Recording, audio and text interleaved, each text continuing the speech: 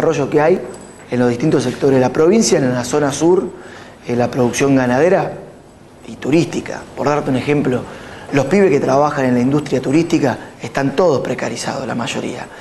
Trabajan en actividades de limpieza, de mantenimiento de, de las hosterías, los hoteles, pero no prospera la posibilidad de que puedan estudiar una carrera vinculada al desarrollo turístico y que tengan la posibilidad de hacer actividades económicas del turismo autogestionada, que no tengan que depender de las grandes cadenas turísticas.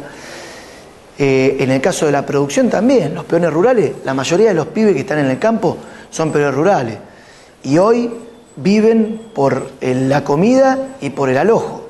Estamos hablando que el alojo es un rancho de chapa con una catrera, con un colchón y se tapan con las mantas de la misma montura que ensillan en el caballo.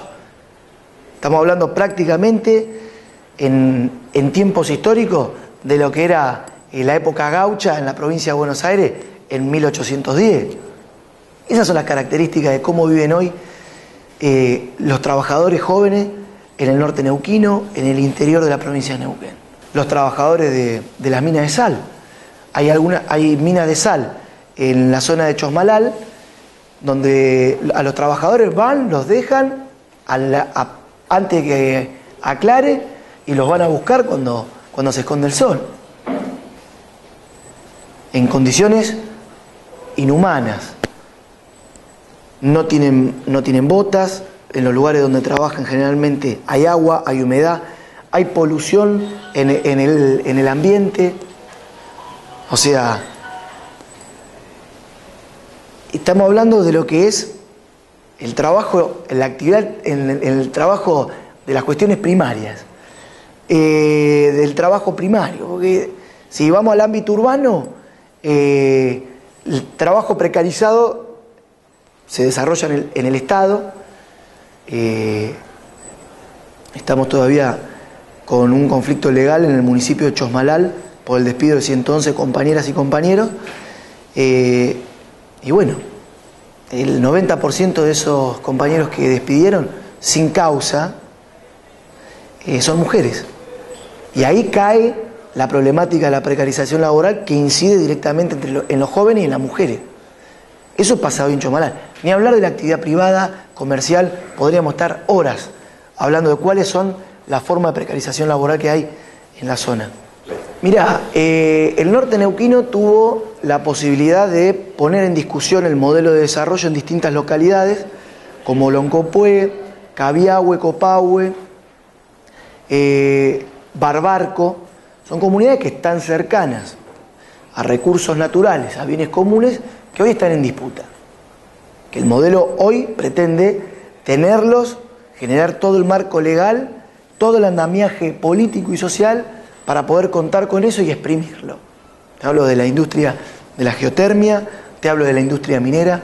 Loncopué, el año pasado, una localidad de 5.000 habitantes, tuvo la posibilidad de llevar adelante una consulta popular donde el 80% de la población decidió que la minera no se eh, radique en la localidad, porque corre riesgo toda la producción agrícola y ganadera que están en las márgenes del río Agrio, que son comunidades rurales y de pueblos originarios que se dedican a criar oveja, vaca, caballo y chiva.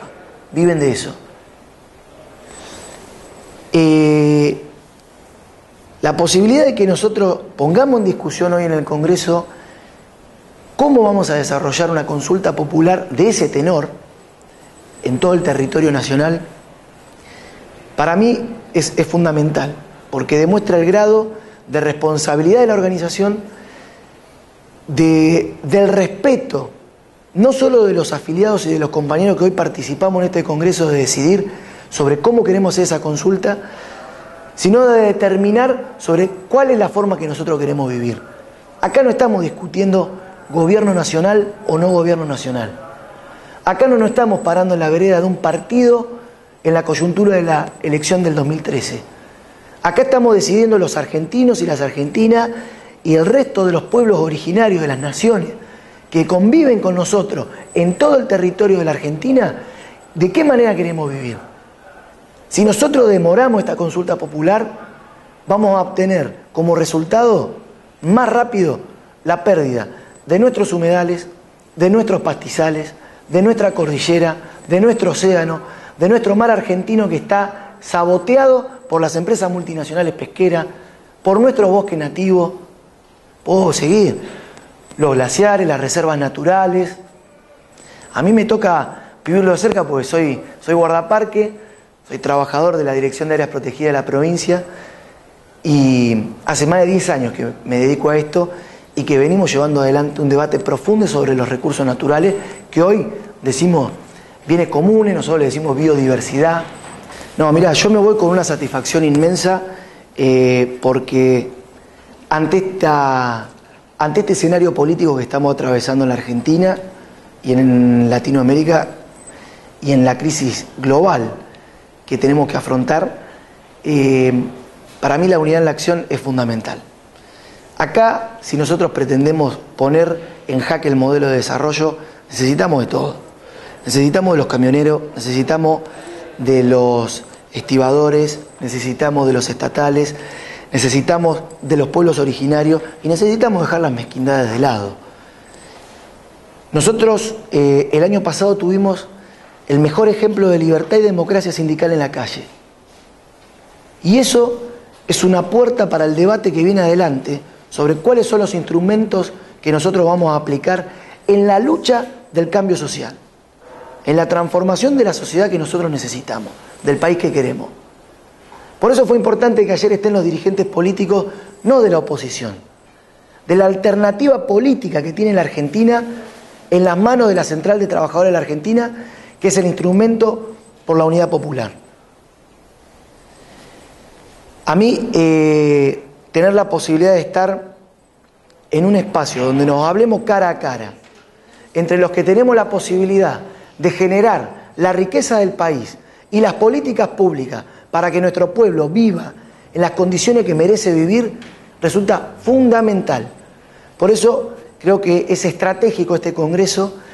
Eh, yo calculo que en, el transcurso de los próximos días vamos a ver los resultados, vamos a poder analizarlo, lo vamos a poder llevar a las asambleas, a cada uno de los compañeros del interior del país, para poder en discusión cuál es la línea de acción que vamos a llevar adelante sobre este programa que definimos hoy.